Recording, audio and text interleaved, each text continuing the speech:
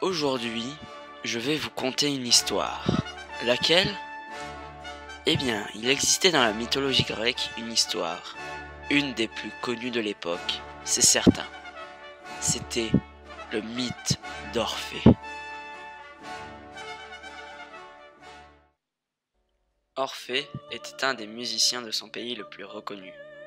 Il enchantait les animaux et le temps au seul son de sa lyre. Un jour, tandis qu'il se baladait dans la forêt, un bruit soudain l'attira.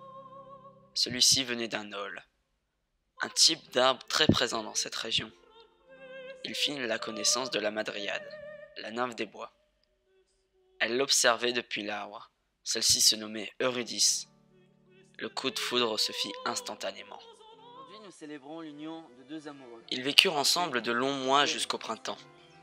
Ils décidèrent alors de se marier, firent la cérémonie et la fête. Oui. Mais, alors qu'ils allèrent marcher à deux dans un petit chemin boisé,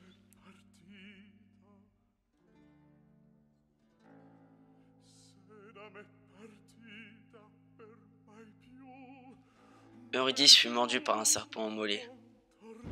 Elle décéda sur le coup. Orphée ne pouvait se consoler.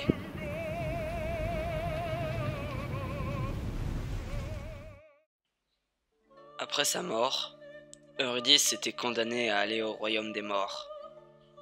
Le royaume gardé par la bête la plus féroce du monde, le fameux Cerbère.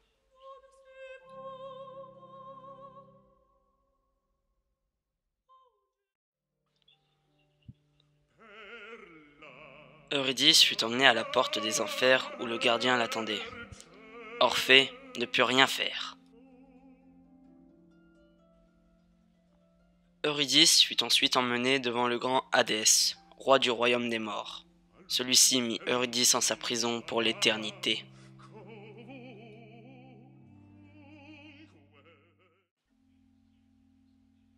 Mais Orphée, qui n'était pas décidé à perdre son Eurydice, alla la réclamer au roi des morts.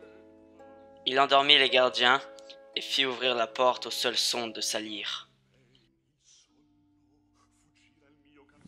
Qui es-tu?